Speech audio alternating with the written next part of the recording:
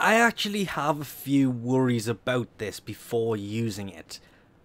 It's a 600 pure elemental damage weapon that, well, it says it's the description that has this from me.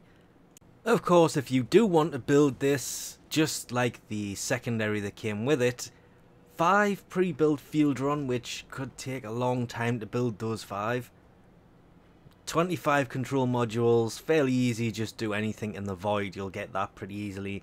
925 cryotic, could be a, a bit of a pain to get, but not really, considering you can get 100 per machine from excavation missions.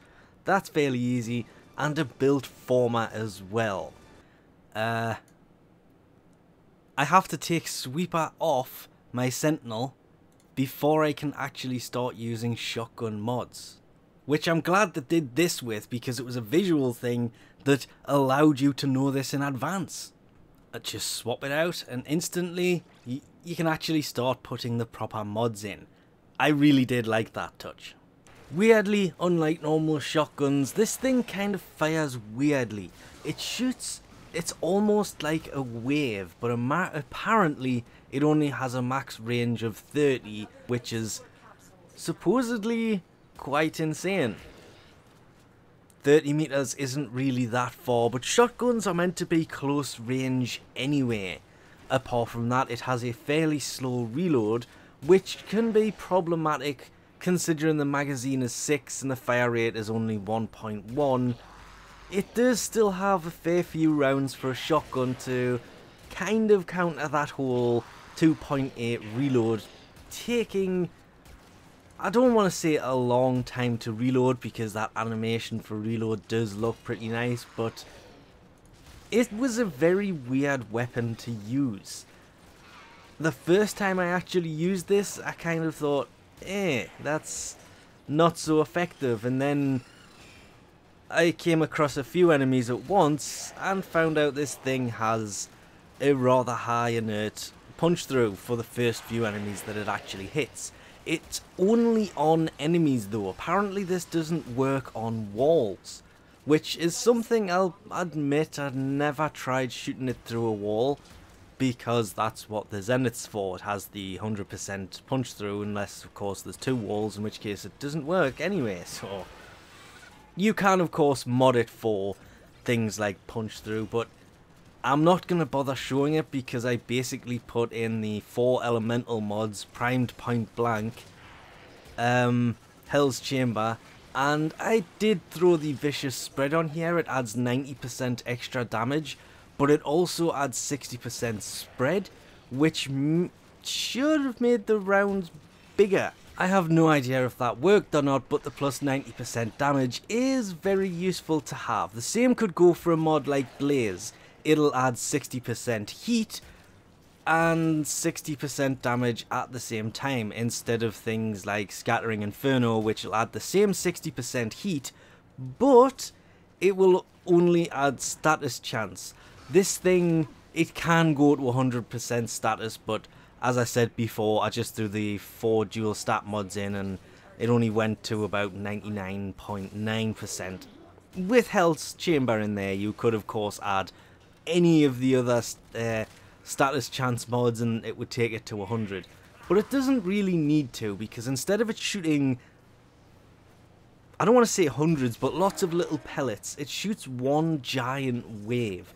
And it was the way this thing fired that made this a little bit more fun to use. The first time I shot it, I will admit it was, I thought it was kind of weird to be using shotgun mods on what is basically an energy sh wave shooting primary. But it was a, very quickly I kind of realised that shooting through enemies. This only happens on enemies, it won't work through walls, but it is a very interesting weapon to have played with.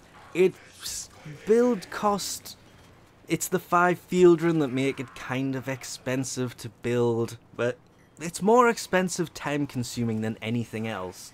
But it was a nice change to shotgun style weapons. There's a few different weapons that use it, like the Phage, which is kind of a weird shotgun because it shoots waves that, well, beams that come into one generalized beam. This shot waves, and I would love to say, like all shotguns, you should build it towards multi-shot, which is why I'm not going to show my build because I cannot settle on what I want to do with this. But because it seems to shoot one thing, I'm not sure if it's actually worth building it for multi-shot or not. Hence, I'm just not going to show my build because it's kind of rubbish if I'm honest. Despite the fact it has over 9,800 blast, it has 5,500 radiation with 6,500 corrosive. It's just it's not where I would like this thing to be by the time that I actually do this, but it's a weird new take on shotguns that is very weirdly kind of fun. You don't have to have amazing aim to use a weapon like this. Some shotguns, that doesn't really matter anyway, and at close range, most shotguns will take out a lot of enemies fairly quickly it's the fact that it's got that punch through for the first few enemies it hits that made it quite a fun little weapon to play with. With the higher level stuff, however, the damage fall off at range. Yeah, you don't really want to go face to face with level 150s because they will just end you pretty quickly.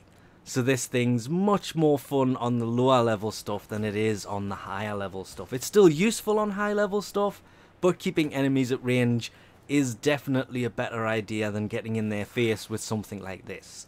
But anyway, we'll leave this off here for now. Thanks for watching, and I'll catch yous next time.